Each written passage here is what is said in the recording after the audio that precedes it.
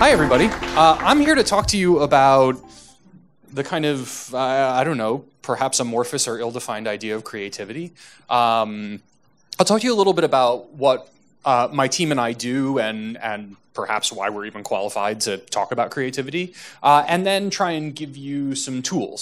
Um, ostensibly, the, the kind of pitch is we work with a lot of partners, whether agency, client, or otherwise, and all too often hear people referring to creative as a function. Um, but it's not, it's a capability, and it's one that I think everybody or many people often ignore as something that they can be bringing to the way they approach problems and tackle their business on a day to day basis.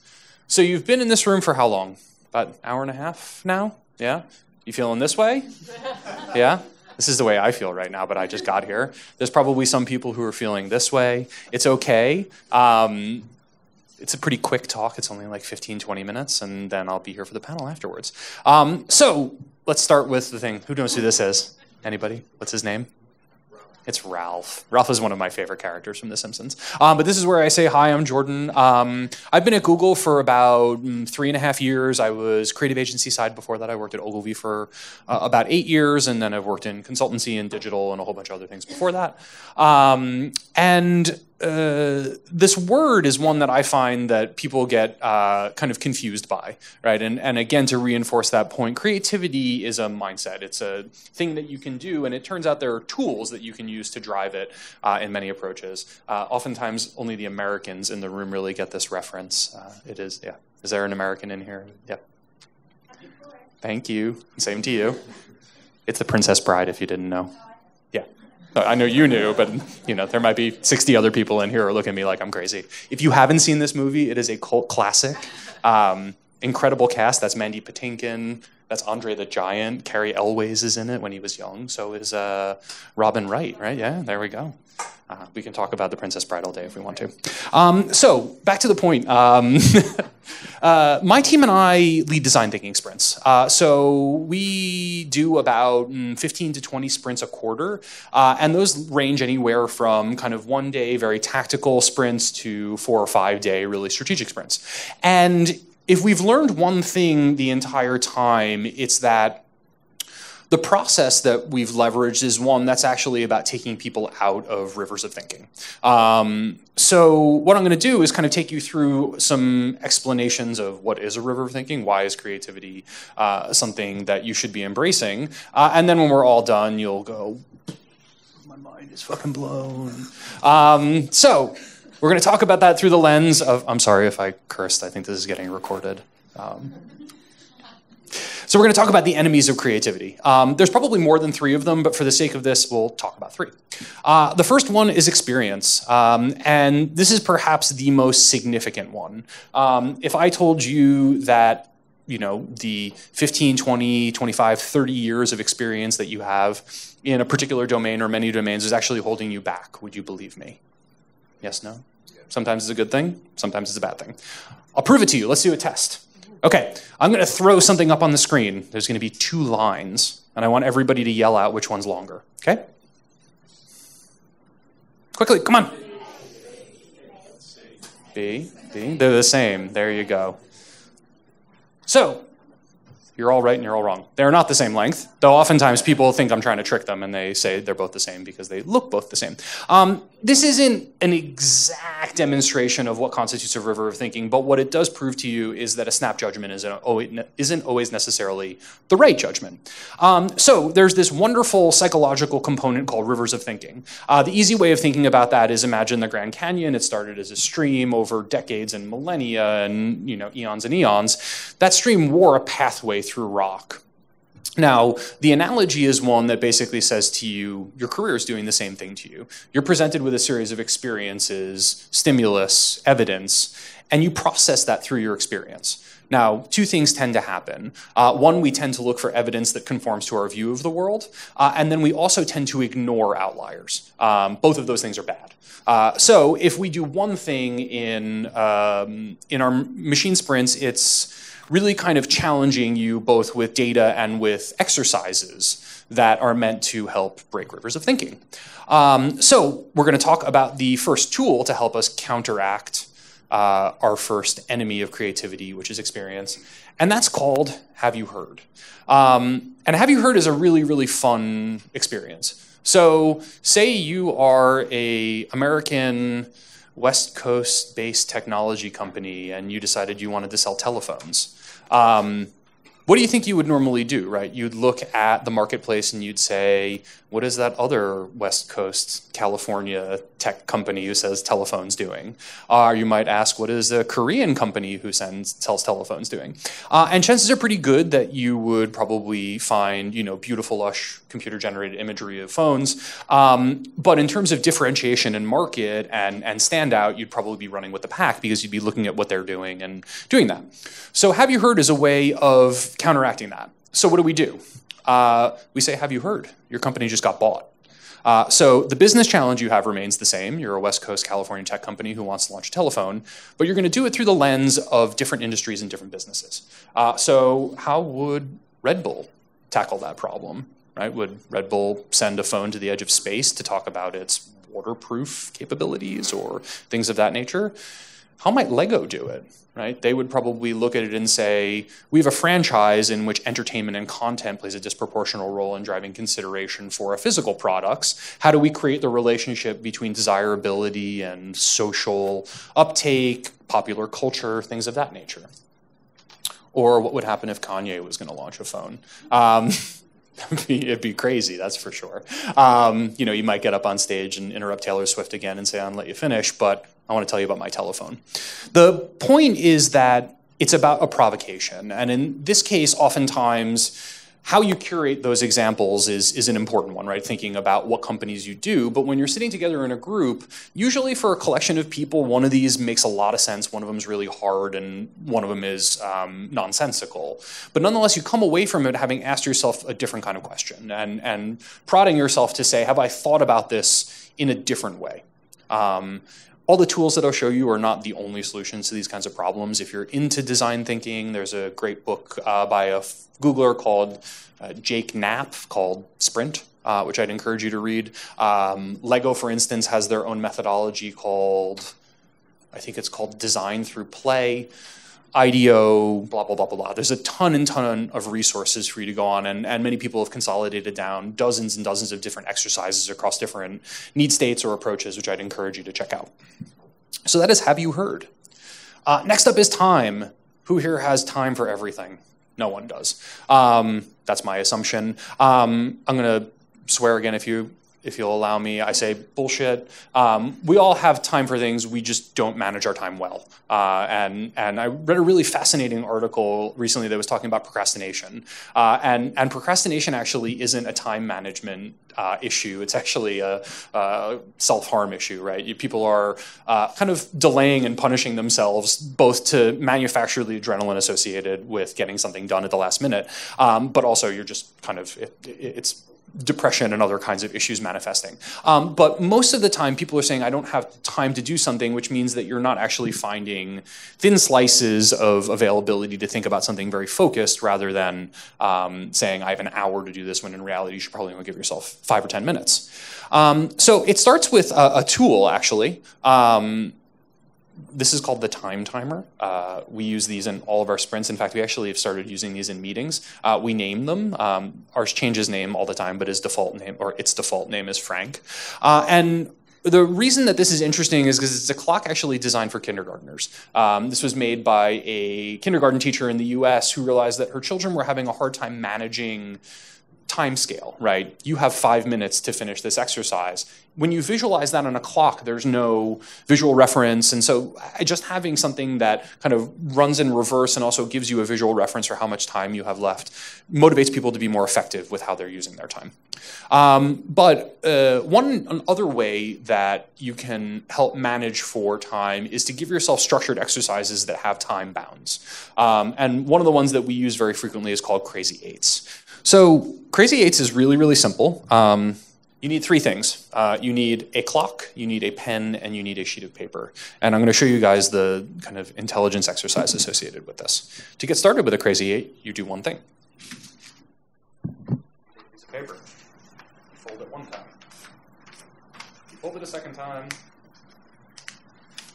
You fold it a third time. And now comes the real test. Why is it called Crazy Eights? Boxes.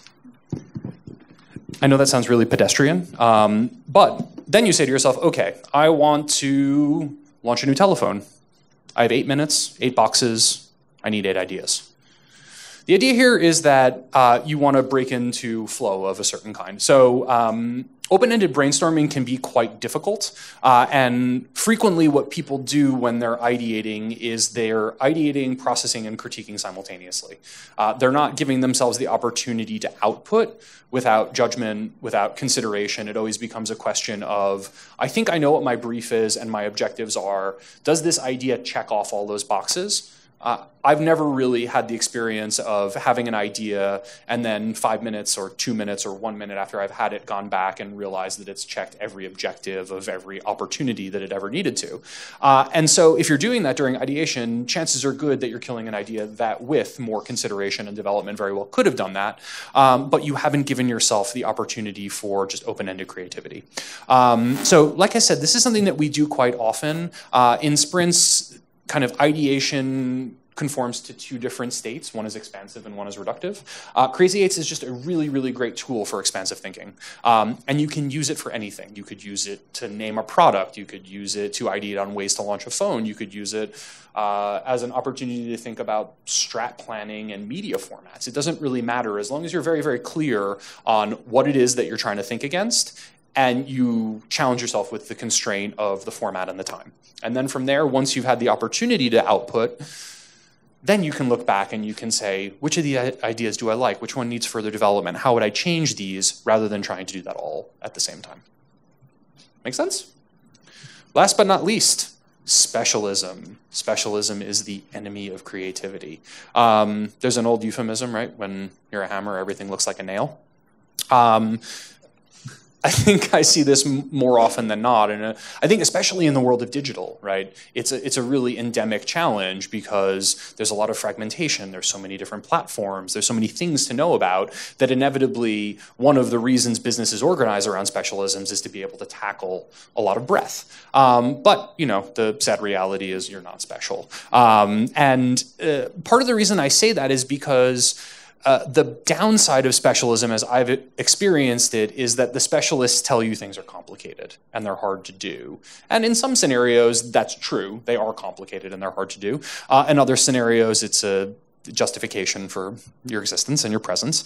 Um, but I want to prove to you that everybody has the capability to be far more uh, capable and knowledgeable uh, than they think they are. And oftentimes it's actually about just simplifying. Um, so we're going to talk about dumb prototyping. I need a volunteer if I can ask for one. Someone wants to raise their hand. It's really not painful. You just come stand up here with me and we talk.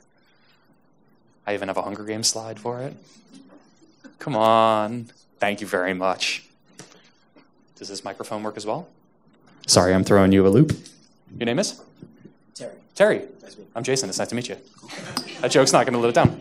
So um, we're going to do some dumb prototyping. Uh, how many people here have one of these or the Alexa competitor in their house, right? Has anybody attempted to prototype an experience for a voice assistant?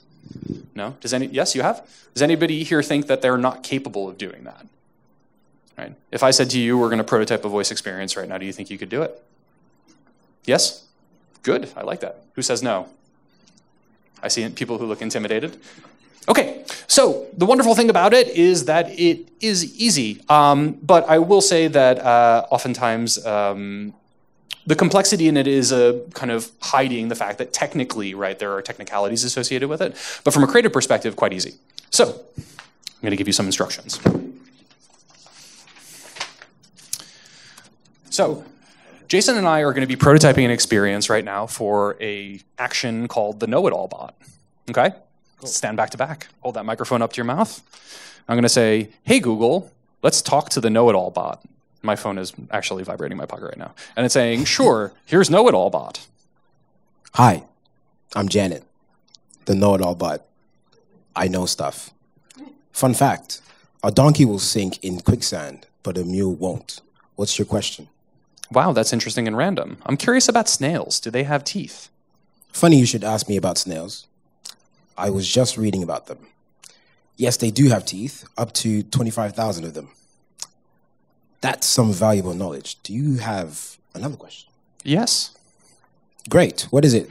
Ickety ziggity zaggity zoom. Hmm. I know a lot, but it seems you're testing the limits of my knowledge. That, or you're speaking com- complete gibberish. Care to have another try? No, thank you. Okay. It's been fun to share knowledge with you. The next time you know it all, uh, be sure to ask for me. I'm Janet. Bye. Thank you very much. It was great. So, the reality is that a lot of things are a lot simpler than they turn out to be, or that you think they might be, right? So voice interaction or dialogues, right? So you can stand back to back, you can put someone next to a wall. Um, but there's a lot of things in there that are interesting, right? If someone was talking to you about designing for voice, they'd be talking about intent, uh, the ability to identify objects and entities, um, what you do with error states, all of those things are actually demonstrated in there, right? So we've established that the know-it-all bot has knowledge. Uh, it understands things about animals. It has random facts about them. When I said iggity, ziggity, zaggy, zoom, it recognized that it didn't have a response for that and went into an error state. Um, we didn't need any technology to do that. We just needed to understand what we needed to be designing for. Uh, and then in that sense, right, you don't, well, you should have technologists and people like that. But to prototype or test whether or not a proposition or an idea makes any sense, whether or not it would be a good user experience, whether it's too complicated or you're approaching it from the right sense, right? Just have a conversation. It, by that same measure, you know, post-it notes and paper can prototype videos, they can prototype display ads. Um, reducing those things down to their kind of their simplest possible components uh, gives you the opportunity to move one step closer toward confidence when it comes to asking myself, have I explored this? Do I understand what the possibilities are? From a creative perspective. So three different enemies, three different tools. Um, I will uh, kind of share this. We call this the creative process. Everybody goes through it. Um, I go through it every time I facilitate a sprint. This is the maybe perhaps the most Instagrammable um, photo in there. If we had a video or photo sharing platform, I'd reference that, but we don't. Um, part of the, I would say, intent of sharing this with you is that it's perfectly fine to feel this way. And the most important thing, especially when you're getting to kind of this is shit and I am shit, is to carry on. Um, if you just use that as an opportunity to say, oh, I, am not creative, I can't think that way, and just escape out of whatever it is that you're doing, um, then you never get to this might be okay and this is awesome. Uh, being creative is, it's again, a capability. It's something like a muscle that you need to work over time. The more you do it, the better you get at it. Uh, at the same time, um, the more you do it, the same kind of experience you build. You need constantly to challenge yourself to not be thinking in the same framework or mindset or paradigm that you always are. Uh, I had made reference to this earlier, so this is the uh, one of the books that we've built kind of our methodology off of. Like I said, there's lots of other stuff that you can go out there. If you're interested in design thinking, I'd encourage you start here. Um, go to the internet and, and, search for design thinking. There's tons and tons of resource. Uh, but the fun thing is there really are dozens and dozens of different tools to be used. And, and one of the best parts about it is actually having that toolbox and then asking yourself, which tool do I want to apply to the challenge or challenges that I'm trying to tackle right now? Uh, and then we end on my favorite GIF of all times. Um, that's it.